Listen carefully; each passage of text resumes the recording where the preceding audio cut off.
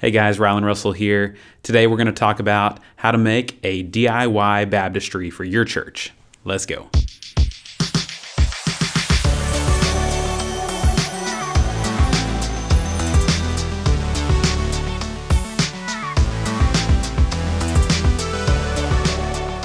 All right, so first of all, why would you want to make a do it yourself baptistry?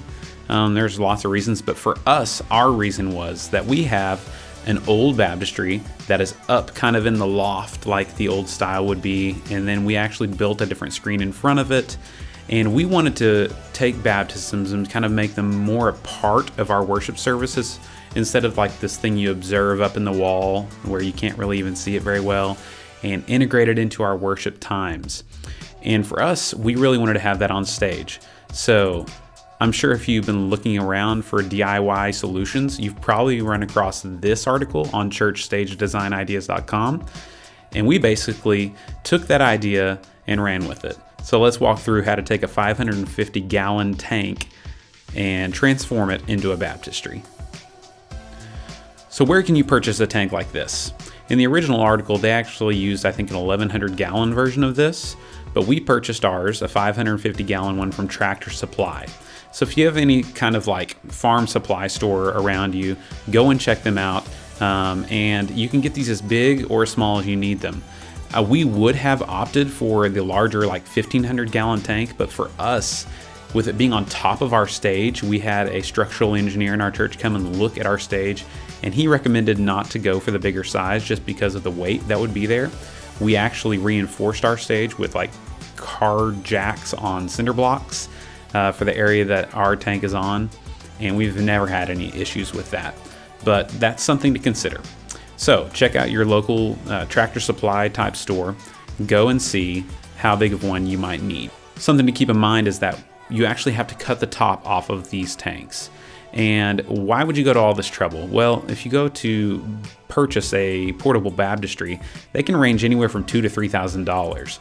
This one that we purchased was around $500, and I think the bigger sizes are still less than $1,000.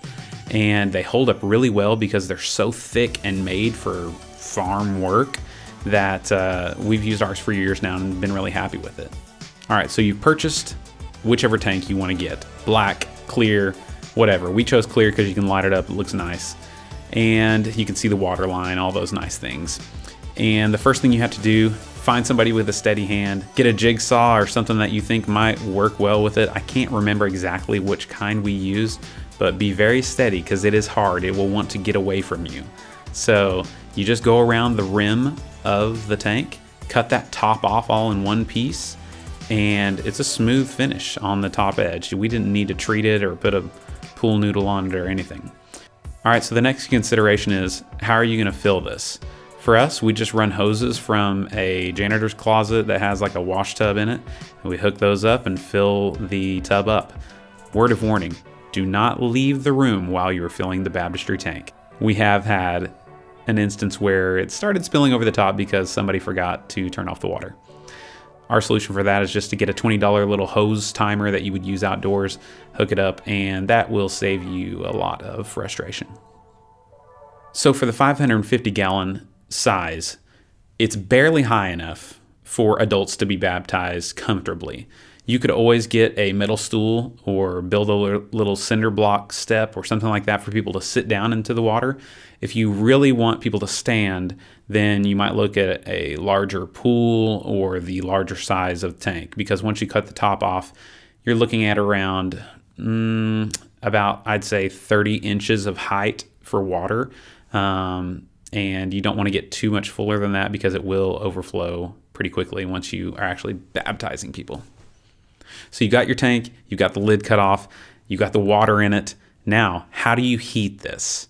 What has worked for us really well has been just to get a, a heater that plugs straight in and then it just sits into the tank and we heat it for about two days and we put a tarp over the top it will take it from you know 65 degree water all the way up to 95 degree water um, by Sunday. So those work really well. You can get multiple ones.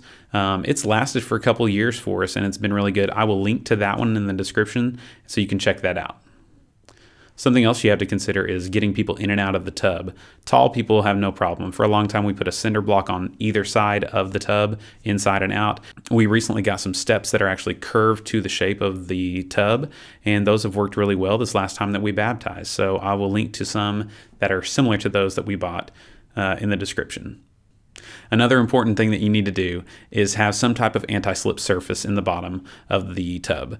So we actually have some rubber mats that you can get at Lowe's. Ours are actually through a rental through Cintas that are made for kitchen work, but um, you just put them in the bottom of the tub and it really will help because it can tend to get a little slimy because they're just a plastic tub.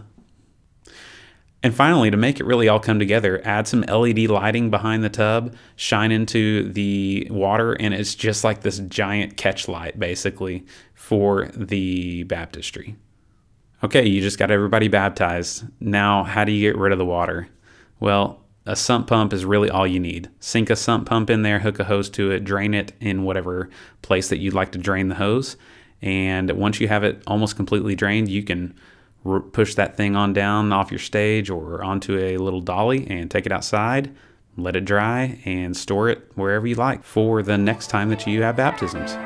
All right, so that's it. Hope that helps you if you are in the market for a DIY baptism solution. If you have any questions, leave them in the comments. I'll do my best to get to them and answer them. And remember, we can do a lot of great things. Let's do them all for the right reasons. Like and subscribe if that's your sort of thing, and we will see you in the next one.